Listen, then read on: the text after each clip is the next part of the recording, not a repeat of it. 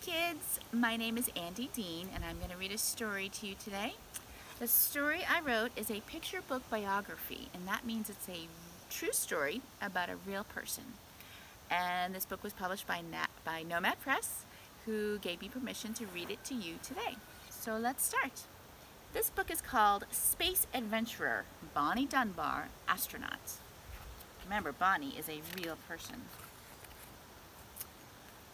Bonnie Dunbar looked up into the night sky.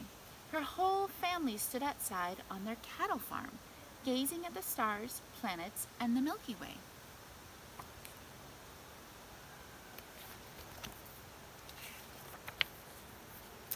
They were looking for something new in the sky.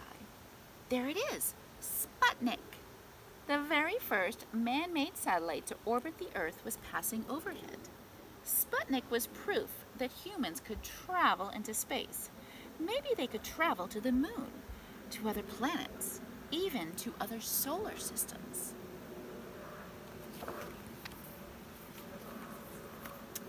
After Sputnik flew across the night sky, many children around the world went to bed and dreamed of traveling to space.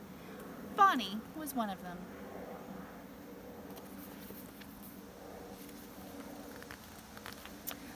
But Bonnie would have to wait to go to space. She was still a kid. Bonnie and her family lived on a farm. They didn't have electricity or running water.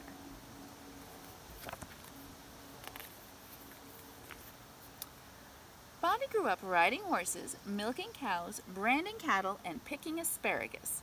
She drove a tractor, learned how to use tools, and built her own treehouse. Bonnie and her family worked really hard.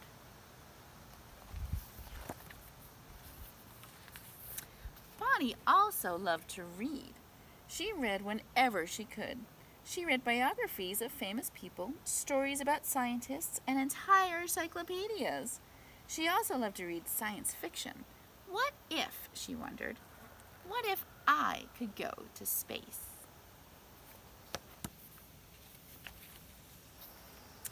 When she went to school, Bonnie remembered watching Sputnik cross the night sky years ago.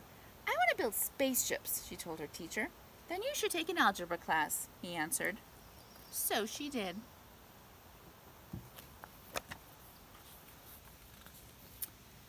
When you look at an algebra book, you might see both letters and numbers. Algebra is a kind of math that solves problems.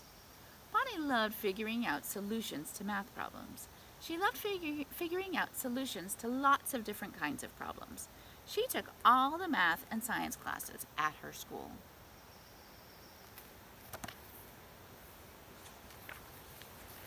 Bonnie still dreamed of going to space.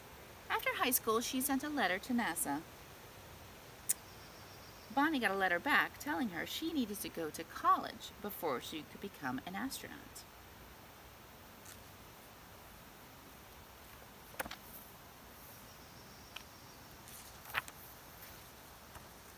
Bonnie went to college and worked extremely hard. She studied and went to classes and finally became an engineer.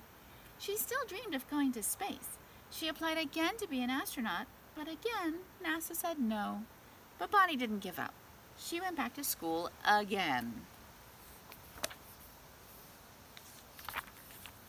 And the next time she applied to NASA, NASA said yes. Bonnie was accepted to the NASA training program.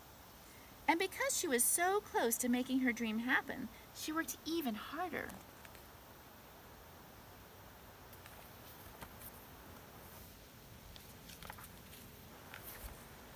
Finally, Bonnie rode the Space Shuttle Challenger into space. Bonnie looked out the window and saw Earth, a beautiful blue and white sphere, and she saw all of the space surrounding Earth, waiting to be explored. The end.